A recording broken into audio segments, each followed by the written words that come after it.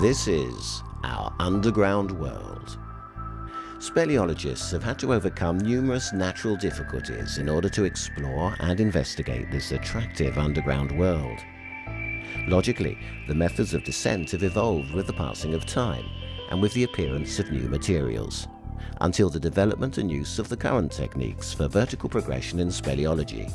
using a single rope, which has resulted in a reduction in the volume and weight of the equipment and improve the autonomy of the cavers and increase their safety.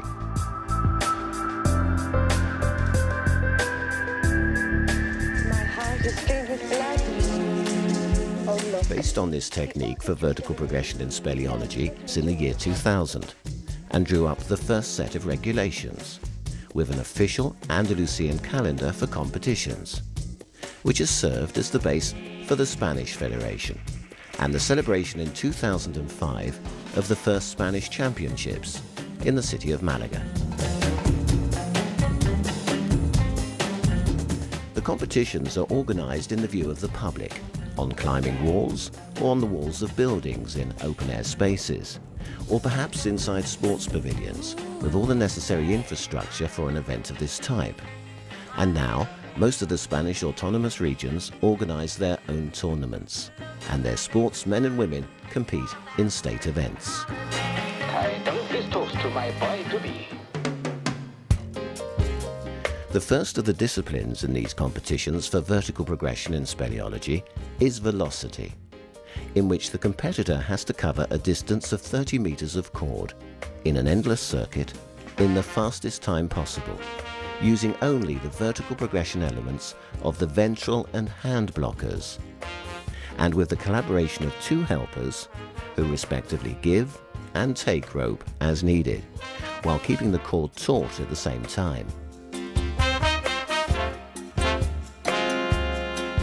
With the practice of this discipline, the speleologist develops the rapidity of his motor responses, increasing his capacity to rationally coordinate his movements according to the external conditions in which the exercise is carried out. For some age categories, the 30 metre distance to cover is reduced by half, at only 15 metres.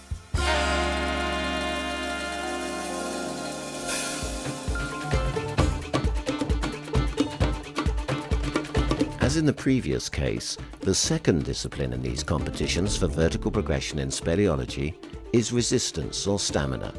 where the distance to cover in an endless circuit is 120 metres for juveniles, adults and A veterans, and 60 metres for children and B veterans. In carrying out their preparation to take part in this discipline, the speleologists improve their strength, flexibility and technical ability, indispensable qualities to carry out exercises and physical activity which uses large groups of muscles for prolonged periods of time, and which allows the speleologist to keep his strength at a steady intensity during his underground explorations, overcoming fatigue and avoiding a drop in performance, increasing his capacity for concentration and obtaining rapid recuperation times.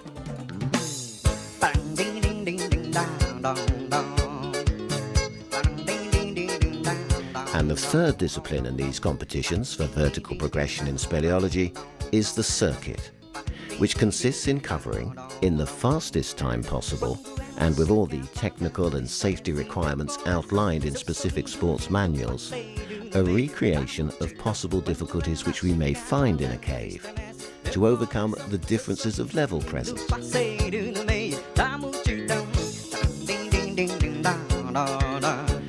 Considered as the star discipline, the length of the circuit also varies according to the age of the different categories, during which the speleologists have to continuously climb or descend by the rope, as if they were overcoming all sorts of obstacles, crumbling, knots, hand grips, suspension ropes, all with a perfect combination of speed, stamina and technical dexterity.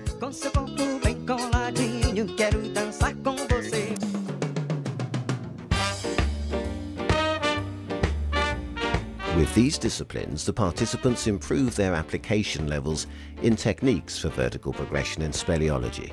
under the protection of the technical programs developed to increase their sporting prowess. knowledge of speleology is promoted among the public present,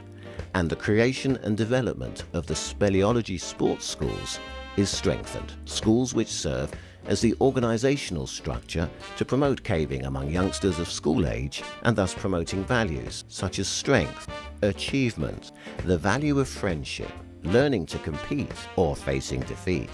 all within a humanist and formative ideal, which makes speleology a marvellous fiesta of sport.